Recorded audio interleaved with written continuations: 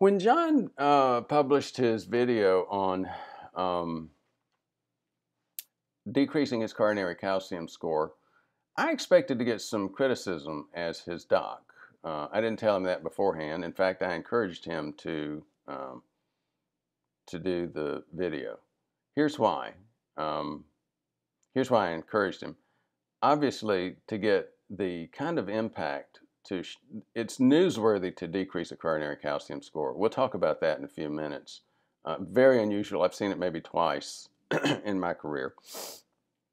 Um, and it was very much associated with the changes he, he made in his lifestyle 42 pound weight loss, um, uh, decreasing uh, recorded blood sugars as high as 300 down to keeping them routinely below uh, 100. So, again, people say you don't, you don't get a decrease in coronary calcium. Well, he did, and I've seen it. And um, again, it was associated with what he uh, accomplished from his lifestyle. But back to my first comment why did I expect to get criticized as his doc? A couple of things. Number one, uh, serium, uh, serial calcium scans. Uh, I don't know anybody that recommends serial calcium scans, although you can do them. And you saw in John's case, uh, there was a significant, uh, significant correlation. Uh, usually you don't see a correlation, and that is a stepwise increase in uh, calcium as you get a stepwise increase in um, um, in plaque. But that wasn't the reason. Well, that was one of the reasons I expected to get criticized and didn't. Uh, here was another reason, maybe a bigger one, and that is also the reason why uh, a lot of people don't reckon recommend coronary calcium screening on a, uh, again, screening basis, and that has to do with safety. There's a perception out there that there is uh, significant risk associated uh, with radiation from coronary calcium scores. It's a CT technology, and um, there is significant um, radiation. but we're going to cover, cover a little bit more detail on it and make the point um, that it's not even in the same ballpark. Uh, why am I showing um, a picture of the Cincinnati Reds Stadium, uh, Garmy Stadium again? When we're talking about risk of coronary calcium um, radiation uh, compared to risk of um, heart attack and stroke if you have uh, coronary calcium or if you have plaque and you don't know it, um, no comparison, they're not in the same ballpark. Well, I'm sure there are uh, quite a few out there who are saying, well, Brewer, wait a minute. You said there is some risk and it's significant. I want to know more. Okay, we'll tell you a little bit more. Um, this article came from um, the Journal of MRI, Magnetic Resonance Imaging, and the, uh, excuse me, that's the Ramipril cough in there. Um, the, the title is uh, self-explanatory. Imaging strategies to reduce the risk of radiation in CT studies, including selective substitution. And it mentions MRI in the title, but I'm not going to get that deep in this article. I will give those of you who have an interest, as usual, I'll uh, give you the reference um, below the uh, video in the uh, some of the text explanation. Um, but they also mention multiple times in this article substitution with ultrasound. And that is exactly what CIMT uh, technology is. Um, I will step away from the risk question for just a second and compare the screening technologies the most common screening technology you'll see out there with uh, standardized medicine is um, stress tests. Um, and I, I, I run away. I get anaphylactic. I get an, allergic reaction to talking about ordering stress test. I have ordered a few, again, uh, three or four, not that many. Uh, stress test has way too many false negatives Uh, you remember Tim Russert? He's the one that he was the news guy that had a, a normal stress test in March of uh, when was it? 08. Um, and then had a fatal MI in um, June. So, unfortunately, stress negative stress tests give way too many people a false sense of security. So, from that perspective, I uh, personally feel that they're dangerous. Uh, you get far fewer uh, false uh, negatives with coronary uh, artery calcium score, but again, with coronary artery calcium score, you've got this radiation issue, and um, you've got a major issue with with um, um, they don't correlate so well uh, with increase in plaque. You know, the serial type of um, of uh, correlation. You can't judge on an ongoing basis. So I've done a few of those. I do those in cases like with John, where you had um, uh, you had very confusing CIMT picture, and in John's case, it was due to the increasing sensitivity of the CIMT, creating a false impression that there was an increase in plaque when we both doubted that severely.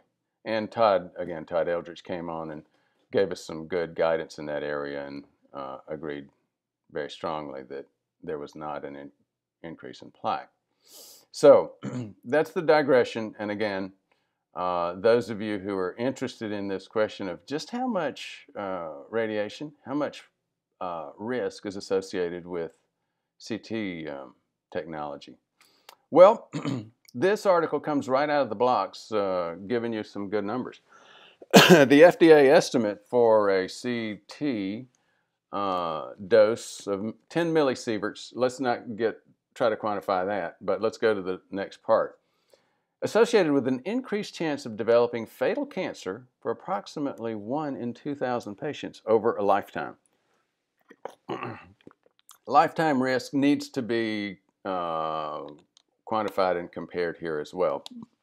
When you're talking about lifetime risk in terms of um, radiation, we're talking about infants, five-year-olds, uh, all ages. And the lifetime for an infant, the expected lifetime for an infant and five and 10-year-old, 20-year-old is obviously much greater than the expected lifetime of a um, someone with heart attack and stroke risk.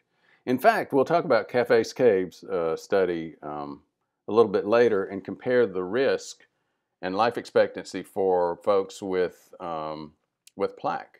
And we'll see, we don't measure risk in terms of lifetime there, we measure it over a 10 year period. And we're also, again, I'll, I'll um, uh, bottom line it here for those of you who just want to hear it and move on to the next video.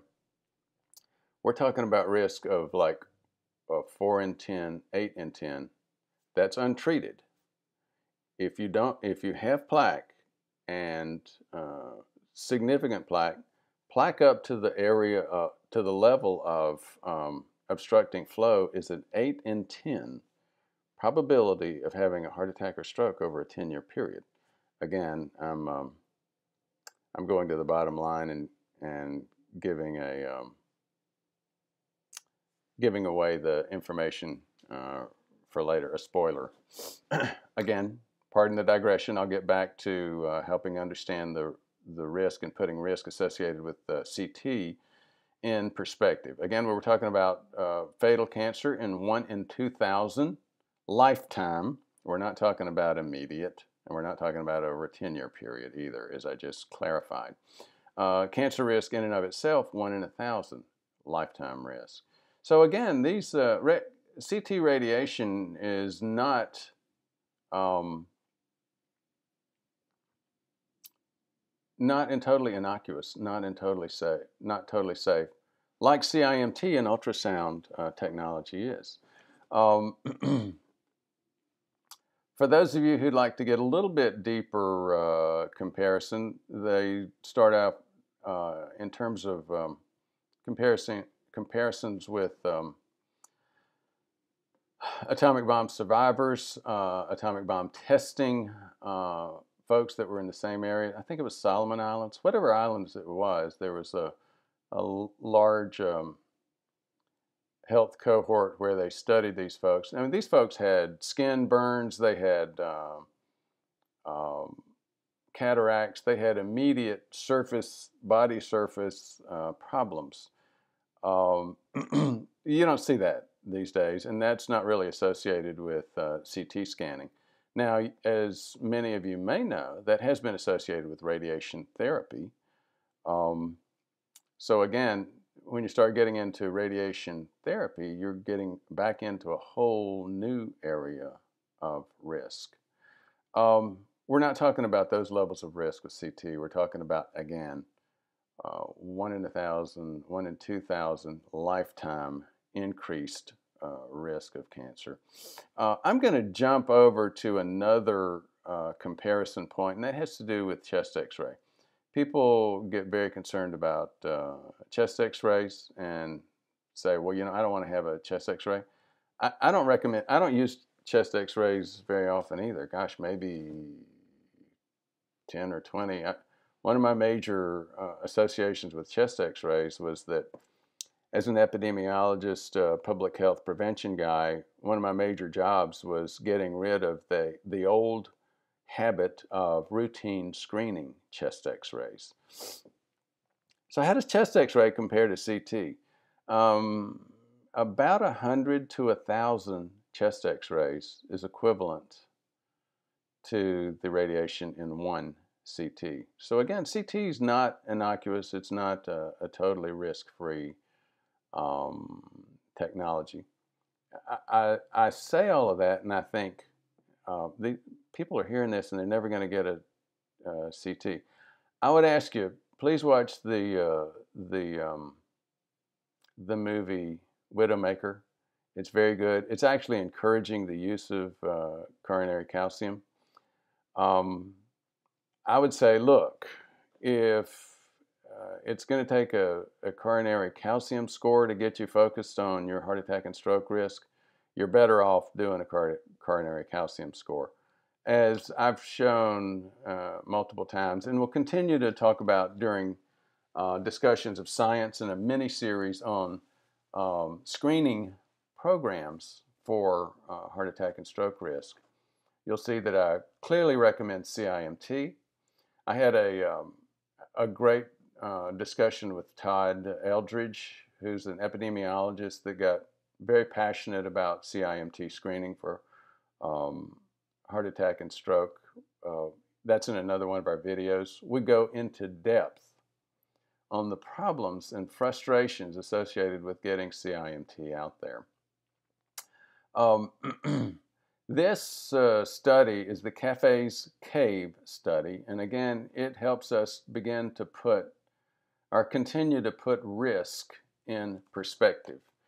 This is a, an old video, I mean, an old image from um, Brad Bale and Amy Doneen, they um, they taught me a lot of uh, the focus that we're talking about with CIMT and some of the other technologies that uh, uh, that we're looking at. And they have a great uh, training program for uh, docs, dentists. I know a lot of um, non-medical people, nutritionists, uh, a lot of other folks who have gone to their courses. Very, very good course. And um, a very good book they've written, uh, Beat the Heart Attack Gene. Now, this is the CAFES-CAVE study, as you see in the title up here. This was like maybe the definitive study in helping us understand the value of CIMT. This was using CIMT, carotid femoral ultrasound, screening and cardiovascular events in low risk subjects. Now, here we've got this term, this word risk again. In this title, what did risk mean? Did it mean they'd had a coronary calcium score and it was low? No, that, that it did not mean that. Um, did it mean that they'd already seen low risk on uh, ultrasound CIMT screening? No, this they had they had low risk as defined by Framingham. Framingham is all um, demographic and history type stuff. Are you a smoker? What is your age? What is your uh, gender? Um, what is your BMI? Um, again, BMI hopefully will be replaced by relative fat mass soon, but again, at, at that time we were looking at BMI. They took people, 10,000 adults, they actually had 13,000 subjects, but 10,000 uh, adult subjects went a full 10 year period. They did uh, CIMT screening on these folks. And all 10,000 people were people like me five, ten years ago who you would say, you're an adult, you've had, um, you've got some association with being a male and age, but really no, um, no other significant risk factors. Well, they did find significant uh, risk using CIMT screening. Now, let me give you some of the numbers. At 10 years, there were 10 events for um, people with class 1. That was none, uh, that was, um, again, a, uh, a fairly low number. That was the folks that they would agree, yes, they're low risk. 81 events in class 2 for 930 subjects. But here's where you got folks like me. I had a plaque. Um, if you look at arterial age, 72 years old, even though I was 57, and everybody would have said, you're a low risk individual. I would have fit in the CAFES-CAVE study. I would have gotten led into it. I would have been in this class three. Um, there were 611 subjects out of the 10,000, um, and there were 30, 239 events in 10 years. In other words, um, about 40%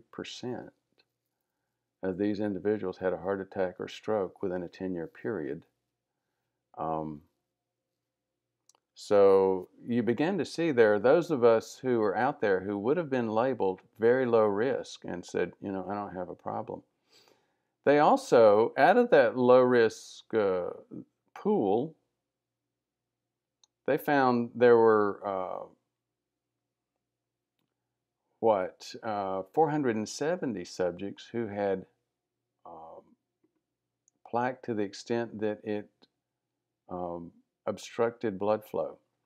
If you had that much plaque, even though by Framingham you had very low risk, you had an 81% probability of having a heart attack or stroke over the next 10 years. So again, this uh, CAFES-CAVE study is a critical, it's a landmark study and it makes it very, very clear. We've got an, a very safe technology with CIMT. I'm not saying it doesn't have problems, it does, but it's a safe technology which is extremely effective at taking uh, people that thought they had low risk and uh, finding a significant population. What was it? Uh, uh what up to 40% of them had risk that they just did not know about.